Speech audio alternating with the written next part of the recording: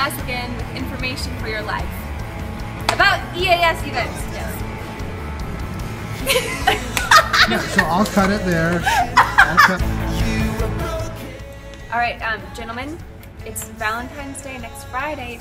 Bye. Romance your ladies. You need to take your lady out. Yes. And um, you need to bring your kids to us because we're yes. gonna um, we're gonna have a night planned for them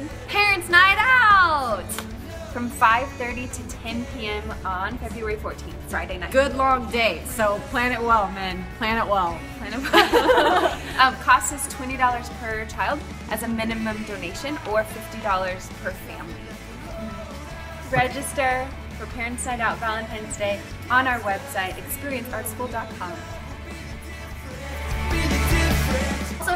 parents' night out, you can pay online, which is nice because then you won't have to stand in line forever to try to register your kids once you get there. So register online, pay online. It's good to go so you can just get on out.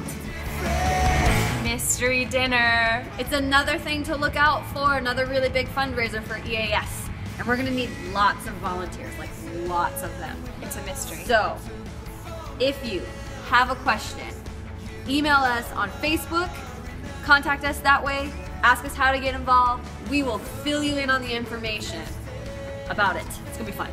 Yay! That's it. Bye!